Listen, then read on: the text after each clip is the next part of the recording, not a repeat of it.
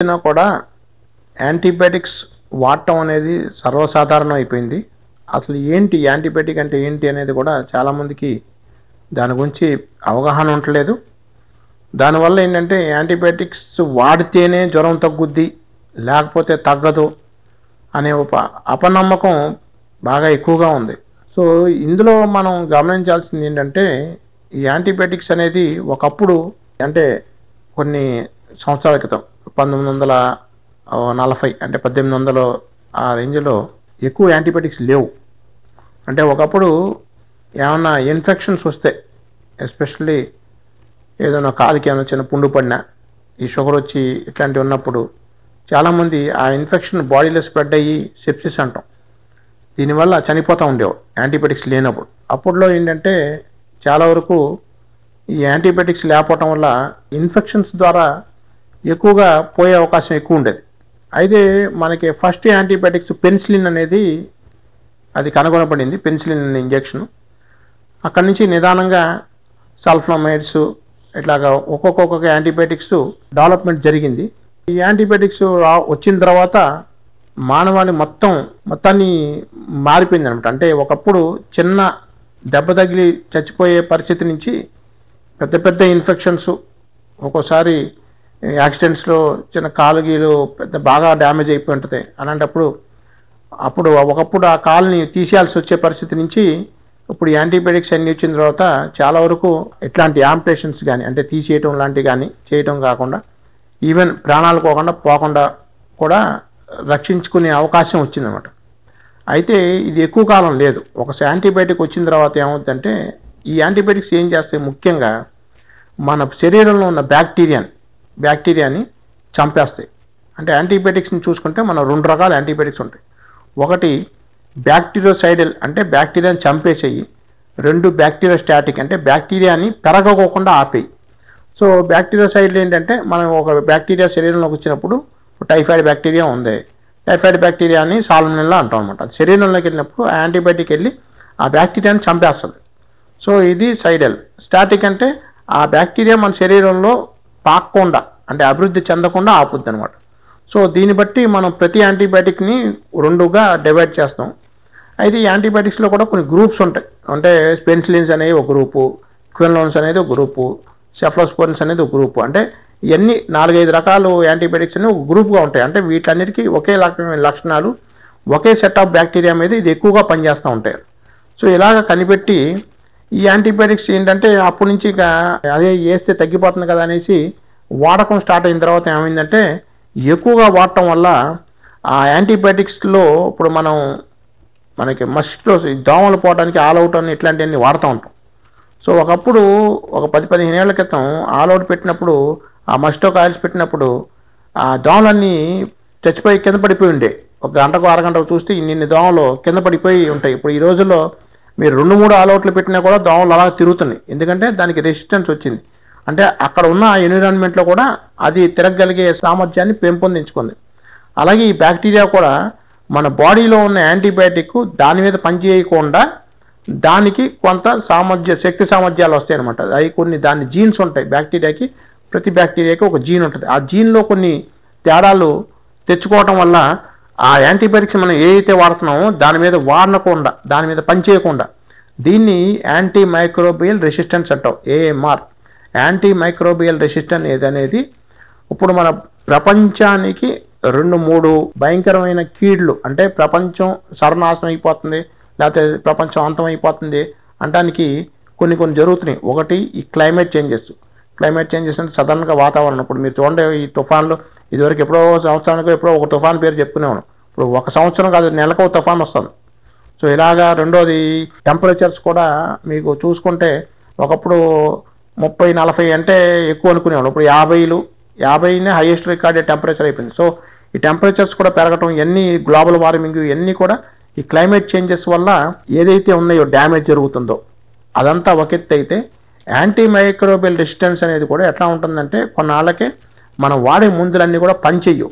ఈ పని చేయకపోవటం వల్ల చిన్న యూరిన్ ఇన్ఫెక్షన్ కూడా మనిషి ప్రాణం పోయే అవకాశాలు వస్తున్నాయి అనమాట సెప్సిస్లోకి వెళ్ళి ఆ బాడీలోకి బ్యాక్టీరియా అంతా పాకిపోయి మనం వాడే యాంటీబయాటిక్స్ ఏమీ పనిచేయకపోవటం వల్ల అది కూడా మనిషి మళ్ళీ ప్రమాదానికి దారితీస్తుంది. ఈ కొన్ని ఏంటంటే ఈ కొత్త కొత్త జబ్బులు రావటం ఇట్లా క్లైమేట్ చేంజ్ రావటం ఇవన్నీ కూడా ఇప్పుడు మన మానవాళికి పుంచిన ముప్పులు. సో అందులో ఒకటి యాంటీ మైక్రోబియల్ రెసిస్టెన్స్ అనమాట సో ఇది ఎంత ఎక్కువగా ఉందంటే ఏఎంఆర్ మనం ఎన్ని యాంటీబయాటిక్స్ వాడుతుంటే అంత పెరుగుతూ ఉంటాం. సో ఈ బ్యాక్టీరియాకన్నీ ఒక యాభై శాతం బ్యాక్టీరియాలు వేసే ఏదైతే యాంటీబయాటిక్ ఉందో దానికి పనిచేయటం లేదు. దానివల్ల మీకు జ్వరాలు తగ్గవు. దానివల్ల మనిషి ఒక రోజు ఉండాల్సిన జబ్బు వారం పది రోజులు ఉంటుంది. అంటే మనం ఒక హాస్పిటల్కి అడ్మిట్ అయితే రెండు రోజులు తగ్గిపోవాల్సిన జబ్బు ఒక వారం రోజులు రెండు వారాల్లో ఉండాల్సి వస్తుందంటే డైరెక్ట్గా మనకి హెల్త్ లాస్ రెండోది అమౌంట్స్ కూడా. ఇప్పుడు హాస్పిటల్లో ఖర్చులు అయ్యే ఖర్చులు కూడా దాన్ని ప్రభావం చూపిస్తుంది. సో ఇన్ని దుష్పరిణామాలు ఉన్నాయి. సెకండ్ థింగ్ ఏంటంటే ఈ యాంటీబయాటిక్స్ లాస్ట్ టెన్ ఇయర్స్లో కొత్తగా ఏది కనిపెట్టలా. చాలా వరకు మనం ఎప్పటి నుంచో ఉన్న యాంటీబయాటిక్సే వాడుకుంటున్నాం లేదా దాన్ని కొంచెం మాడిఫై చేయి వాడుతున్నాం కానీ కొత్తగా నియర్ ఫ్యూచర్లో ఇవో ఇన్ని యాంటీబయాటిక్స్ వస్తున్నాయి అనేది అసలు లేవు డౌన్ అంటే ఇంకొన్ని సంవత్సరాలు పోతే కొత్త యాంటీబయాటిక్కే రాదు. ఎందుకంటే ఇప్పుడు మనకి మొన్న చూసాం కోవిడ్లో. ఆ కోవిడ్కి ఫస్ట్లో మనకి ఏం మందులు లేవు అనుకున్నాం. తర్వాత హెచ్ఈక్యూఎస్ అని అయ్యని ఇవన్నీ తర్వాత ర్యామ్డెసివిర్ అని ఈ ఒక్కోటి ఒక్కోటి వచ్చినాయి. తర్వాత వాడటం మొదలెట్టాం.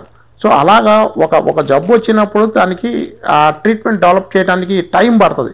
అంటే కోవిడ్లో ఒక రకంగా టీకా కానీ అవి కానీ చాలా త్వరగా వచ్చినాయి బట్ మామూలు జబ్బులకి బ్యాక్టీరియా జబ్బులకి అలా అంత త్వరగా వచ్చే అవకాశాలు లేవు. దాన్ని డెవలప్ చేయడానికి కొన్ని సంవత్సరాలు పడుతుంది. సుమారు ఎంత లేదన్నా ఐదు నుంచి పది సంవత్సరాలు పట్టవచ్చు సో కాబట్టి ఇప్పుడు ఫ్యూచర్లో దానికి అంత కొత్తగా వచ్చిన యాంటీబయాటిక్స్ ఏం లేవు. మనకు ఉన్న యాంటీబయాటిక్సే ఉన్నాయి. ఇప్పుడు ఇన్ని వాడుకుంటా పోతే కొన్నాళ్ళకి యాంటీబయాటిక్స్ మనకేమి రావు. రాపోతే చిన్న చిన్న వాటికి కూడా ప్రాణాంతకంగా మారుతూ ఉంటాయి. కాబట్టి యాంటీబయాటిక్స్ అనేది వాడకం చాలా జాగ్రత్తగా ఉండాలి. యాంటీమైక్రోబల్ రెసిస్టెన్స్ అనేది చాలా పెద్ద సమస్య. సో రెండోది ప్రతివారు ట్యాబ్లెట్స్ ఇంజెక్షన్స్. ఇంజెక్షన్ చేస్తేనే త్వరగా తగ్గుద్ది అనేది ఒక అపోహ ఉంటుంది. కొన్ని ఎట్లా ఉంటాయంటే మందులు ట్యాబ్లెట్ రూపంలో బాగా పనిచేస్తాయి. కొన్ని మందులు ఇంజెక్షన్ రూపంలో పనిచేస్తాయి. ఇంజక్షన్కి అన్నీ ఇవ్వాల్సిన అవసరం లేదు. కొన్ని మందులు ఇంజక్షన్ గాను టాబ్లెట్ గాను అందుబాటులో ఉన్నాయి. కొన్ని ఓన్లీ ఇంజక్షన్లు ఉన్నాయి. కొన్ని ఓన్లీ టాబ్లెట్లు ఉన్నాయి. సో మనం డాక్టర్ సలహా తీసుకుని ఏది బెటర్ మనకి? ఇప్పుడు ఇంజక్షన్ చేసుకోవాలి. ఇంజెక్షన్ చేసుకోవాలంటే హాస్పిటల్ ఉండాలి. లేదా రోజు హాస్పిటల్ చుట్టూ తిరగాలి. ఇప్పుడు టాబ్లెట్ ఉందనుకోండి సింపుల్గా ఇంటికాడ కూర్చొని వేసుకోవచ్చు. కాబట్టి ఇంజెక్షన్ చేసుకుంటే త్వరగా తగ్గిపోద్ది జబ్బు. టాబ్లెట్ చేసుకుంటే లేట్ అవుద్ది అనేది కరెక్ట్ కాదు. ఇది ఒకటి మనం గుర్తుంచుకోవాల్సింది. First thing. Injection hundred percent చేయాలి అనేది కాదు. ఇప్పుడు చాలా వరకు ఒక యాభై శాతం జబ్బులు వైరల్ జబ్బులు ఉంటాయి. ఇప్పుడు ఫర్ ఎగ్జాంపుల్ డెంగ్యూ ఉంది చికెన్ గునియా ఉంది కోవిడ్ ఉంది. ఇట్లాంటి అంట్లో యాంటీబయాటిక్స్ అనేది ఉపయోగం లేదు. వైరస్కి యాంటీబయాటిక్ పనిచేయదు. సో వైరల్ జబ్బులకి యాంటీ వైరల్ మెడిసిన్స్ అంటాం. అంటే యాంటీబయాటిక్స్ బ్యాక్టీరియా లాగో వైరస్కి అగెనెస్ట్గా పనిచేసి యాంటీవైరల్ మెడికేషన్. దానికి అదే వాడాలి దీనికి ఇదే వాడాలి. సో వైరస్ జబ్బులు కానీ ఇప్పుడు గొంతు నొప్పి పరిచయం దగ్గు వచ్చింది అనుకోండి అవి ఫిఫ్టీ పర్సెంట్ వైరస్ వల్ల వస్తాయి. ఆ ఫిఫ్టీ పర్సెంట్లో మనకి యాంటీబయాటిక్స్ అనవసరం. ఎందుకంటే ఈ యాంటీబయాటిక్స్ ఏమవుతుందంటే ఒకసారి స్టార్ట్ చేస్తే ప్రతి యాంటీబయాటిక్కి ఒక టైం పీరియడ్ ఒక డోస్ అని ఉంటుంది. ఫర్ ఎగ్జాంపుల్ రోజుకి నేను మూడు ట్యాబ్లెట్లు ఐదు రోజులు వేయాలంటే ఆ మూడు ట్యాబ్లెట్లు ఐదు రోజులు మీకు తగ్గినా తగ్గపోయినా నేను కంప్లీట్ చేయాలి. ఇప్పుడు ఏమవుతుందంటే మూడు ట్యాబ్లెట్లు ఐదు రోజులు వాడమంటే పదిహేను ట్యాబ్లెట్లు అయినాయి. ఈ పదిహేను ట్యాబ్లెట్లు కలిపి వెయ్యో రెండు వేలు అయినాయి అనుకోండి.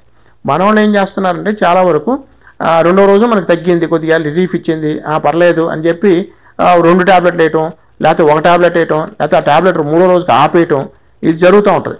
ఇప్పుడు ఇలా జరిగినప్పుడు ఏమవుతుందంటే ఆ బ్యాక్టీరియాకి రెసిస్టెన్స్ వచ్చేస్తుంది. ఇప్పుడు ఏంటంటే ఆ బ్యాక్టీరియాని చంపాలంటే ఆ పదిహేను ట్యాబ్లెట్లు వెళ్తేనే అది చచ్చిపోద్ది బాడీలో.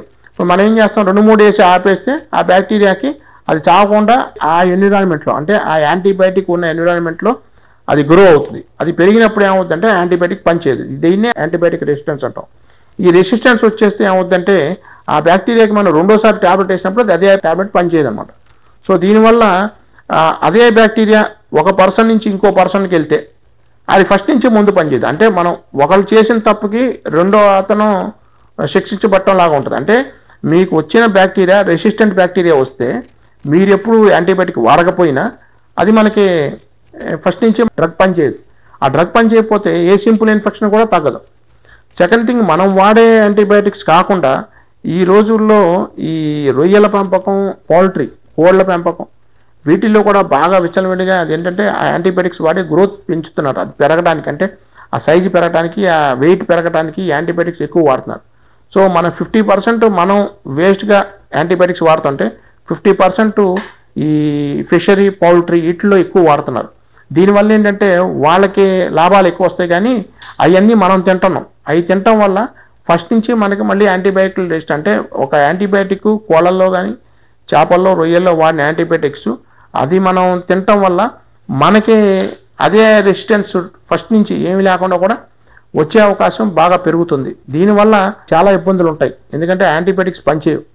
సో యాంటీబయాటిక్ రెసిస్టెన్స్ అనేది ఎట్టి పరిస్థితుల్లో మనం ఒక బాధ్యతగా అంటే మనం ఏ యాంటీబయాటిక్ పెట్టినా కూడా బాధ్యతగా వాడుకొని డాక్టర్ గారి సలహా మీదకు ఎన్నాళ్ళు వాడమన్నారనేది కరెక్ట్గా వాడుకోవటం సో ఆ డోస్ కరెక్ట్గా కంప్లీట్ చేయడం అనేది చాలా చాలా ముఖ్యం. ఎందుకంటే చేయకపోతే మనకే ఫ్యూచర్లో ప్రమాదం. అట్లాగని పక్కన మన నుంచి ఆ బ్యాక్టీరియా స్ప్రెడ్ అయిన వాడికి కూడా ఫస్ట్ నుంచి ప్రమాదం కాబట్టి యాంటీబయాటిక్ రెసిస్టెన్స్ని చాలా సీరియస్ ఇష్యూగా తీసుకుని తప్పనిసరిగా డాక్టర్ సలహా మీదే యాంటీబయాటిక్స్ వాడుకోవటం. ఆ వాడిన కోర్సు కంప్లీట్గా వాడటం. ఆ వాడిన డోస్ కంప్లీట్గా చేసుకోవటం. సెకండ్ థింగ్ సరైన పరీక్ష చేయించుకుని అది అదే ఇప్పుడు ఫర్ ఎగ్జాంపుల్ యూరిన్ ఇన్ఫెక్షన్ దానికి కొన్ని యాంటీబయాటిక్స్ పనిచేస్తాయి. ఊపిరితిత్తుల ఇన్ఫెక్షన్ అంటే ఇదే యాంటీబయాటిక్ మళ్ళీ అక్కడ పనిచేయదు. సో దానికి వేరే యాంటీబయాటిక్ ఉంటుంది దీనికి వేరే యాంటీబయాటిక్ ఉంటుంది. సో ఈ మనం ఏ యాంటీబయాటిక్ మనకి బెస్ట్ అనేది డాక్టర్ గారు అయితే మీకు కరెక్ట్గా చెప్తారు. ఈ యాంటీబయాటిక్ వాడకండి ఈ యాంటీబయాటిక్ అని. మనం వెళ్ళి మందుల షాప్లో "ఆ, జ్వరం వచ్చింది నాకు ఏదో ఒక ఇది ఏముంది యాంటీబయాటిక్ అంటే అట్లా ఓటీ కౌంటర్ అనేది కూడా బాగా సేల్ ఎక్కువైపోయింది. అంటే ప్రతి వాళ్ళు వెళ్ళిపోయి డాక్టర్ వాడికి ఏం వెళ్తాం లేదు పక్కన ఏదో మందుల షాప్కి వెళ్ళి నాకు తలనొప్పి వచ్చింది జ్వరం వచ్చింది ఏదో యాంటీబయాటిక్ ఏమంటే వాళ్ళు రెండు రోజులకు మూడు రోజులకి ఇస్తారు.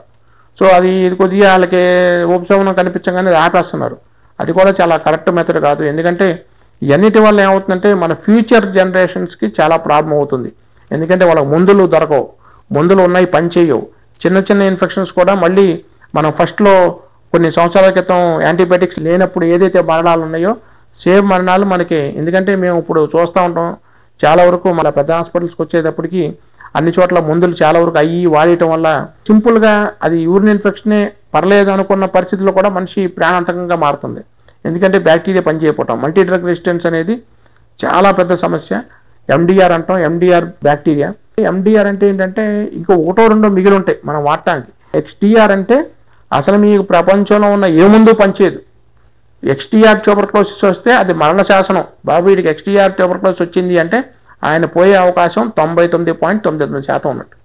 ఎక్స్టీఆర్ ఆర్గానిజం వచ్చిందంటే ట్రీట్మెంట్ కూడా ఉపయోగం ఉండదన్నమాట. సో ఇలాంటి పరిస్థితుల్లోకి వెళ్ళకోకుండా మనం యాంటీబయాటిక్ని బాధ్యతాయుతంగా వాడుకోవటం చాలా ముఖ్యం. ఎందుకంటే ఈ రోజుల్లో యాంటీబయాటిక్ రెసిస్టెన్స్ అనేది చాలా ఎక్కువగా ఉంది. దీనివల్ల చాలా అనర్థాలు జరుగుతున్నాయి. యాంటీబయాటిక్స్ అనేది పుట్టిన శిశువు కానించి తొంభై ఏళ్ళ ముసలాయిన వరకు కూడా వాడటం జరిగిపోతుంది.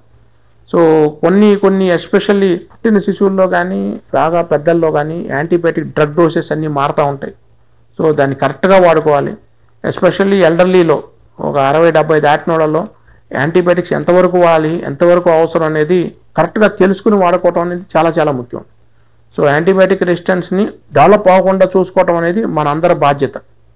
Thank you very much